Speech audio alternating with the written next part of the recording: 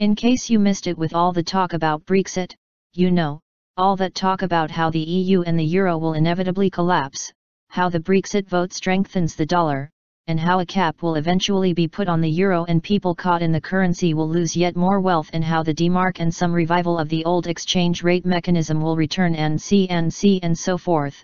There was a very interesting story coming out of Antarctica that Mr. SD and a few others shared, and it caught my eye for a number of reasons, not the least because of one statement stuck in the middle of an otherwise apparently bland article. South Pole medical evacuation flight launched. Now, before we get to that strange statement and my high-octane speculation of the day, note that this story concerns the medical evacuation of an unnamed member of a scientific team. It's not the first such story we've seen coming out of Antarctica in recent years, as other such flights have been made, but they have been shrouded in a pall of secrecy, little real information has come out about why these flights are necessary. You'll note, for example, that in this article there's very little real information about why this medical evacuation was necessary, and a lot of, well, fluff about Antarctic flights and so on. In the past, the pattern has been similar, and has fueled all sorts of speculation and conspiracy theories about the discovery of deadly dormant viruses and other diseases. A few years ago, the focus was on Lake Vostok and what the Russians were doing there which, again, was shrouded in secrecy. Then, more recently, there was the strange visit to the southern continent of Russian Orthodox Patriarch of Moscow, Kirill III, the first Christian hierarch, Orthodox, Catholic, Anglican, or otherwise, to visit the southern polar continent. Kirill posed, of course, for the photo op with the penguins, and then flew back to Russia. And this occurred, lest we forget, after his meeting with Pope Francis I in Havana. That too, fueled all sorts of speculations, including a story that the Saudis had dug up some sort of ancient apocalyptic Horn of Gabriel technology while excavating near the Grand Mosque in Mecca. The story, so it went, was that the Saudis turned in desperation to Mr. Putin and the Russians, who promptly took the alleged recovered technology to Antarctica, and buried it. And, lest we forget, there are of course all those stories about Nazis, flying saucers, and secret Antarctic Nazi flying saucer research bases. Of course, I've never been on board with that interpretation of the Nazi presence there, and have detailed the reasons why in various books and interviews.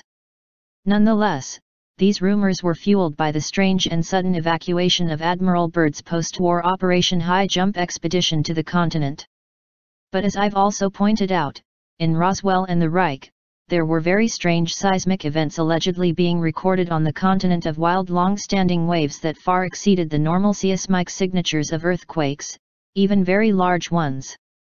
And, lest we forget, those were posted by a German amateur following the strange goings-on in Antarctica.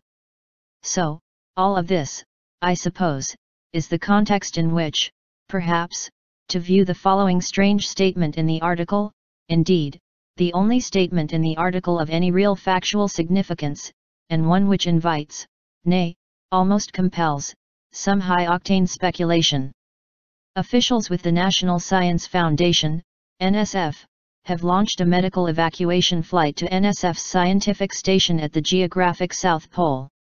After comprehensive consultation with outside medical professionals, agency officials decided that a medical situation at Amundsen Scott South Pole Station warrants returning a member of the station's winter crew to a hospital that can provide a level of medical care that is unavailable at the station. The patient is seasonally employed through the Lockheed Martin Antarctic Support Contract, ASC, the prime contract for operations and research support contractor to NSF for the United States Antarctic Program, USAP. NSF is not releasing any further personal or medical information to preserve the patient's privacy. Emphasis added. Say that again please. Lockheed Martin has a contract for scientific research in Antarctica? The same Lockheed Martin renowned for advanced aerodynamics, the same Lockheed Martin that is a key corporate defense contractor and player in the U.S. military-industrial complex? The same Lockheed Martin that recently rolled out its small nuclear fusion reactor, that, let it be recalled, looked suspiciously like the 1960s patents for the same by Philo Farnsworth, small enough to fit on the back of a truck. The same Lockheed Martin whose former chief of its skunk works, Ben Rich, is alleged to have said before he died that we found an error in the equations and now we can take ET home and a number of other equally provocative remarks.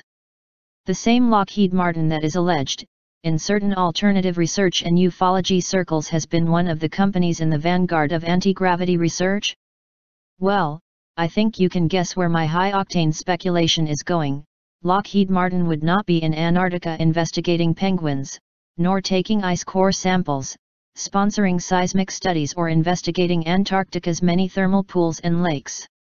It's an aeronautics company. Airplanes, conventional and otherwise, are its bailiwick, in addition to data management and so on and so forth.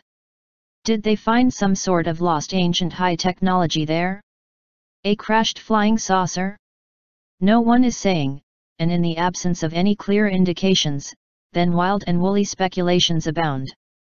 But, I cannot help but recall, that two of the sponsors of the Nazis' expedition in 1938-39 to Antarctica were none other than Rudolf Hess, Reichsleiter of the Nazi Party at the time, and we all remember who his secretary was, and Reichsmarshal Hermann Goering.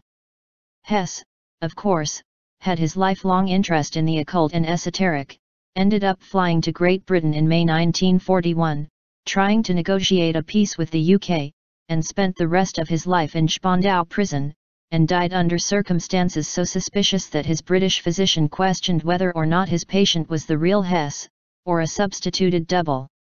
But Hermann Goering was all nuts and bolts business and technology and had but one interest, power, and the advancement of German power and interests. Needless to say, it was a strange combination of patrons for an Antarctic expedition dealing only with matters of pure scientific inquiry.